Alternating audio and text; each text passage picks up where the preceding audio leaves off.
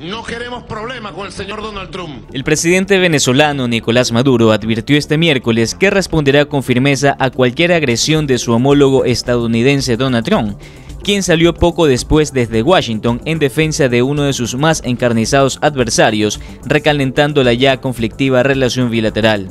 Nos agreden, callados no nos vamos a quedar. Venezuela va a roncar y va a roncar duro.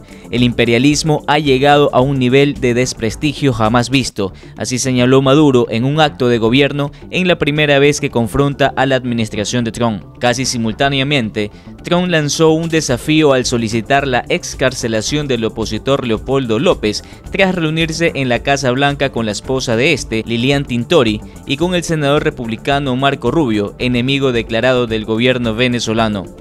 López cumple una condena de casi 14 años de prisión, acusado de incitar a la violencia durante protestas para exigir la renuncia de Maduro, que dejaron 43 muertos en febrero y mayo de 2014.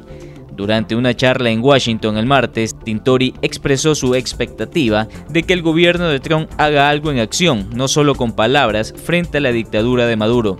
Maduro, por su parte, denunció que detrás de las presiones para enemistarlo con Trump se encuentran la oposición venezolana y factores de poder estadounidense, incitados por la cadena de noticias CNN, cuya señal en español salió del aire este miércoles en Venezuela por demanda del gobierno.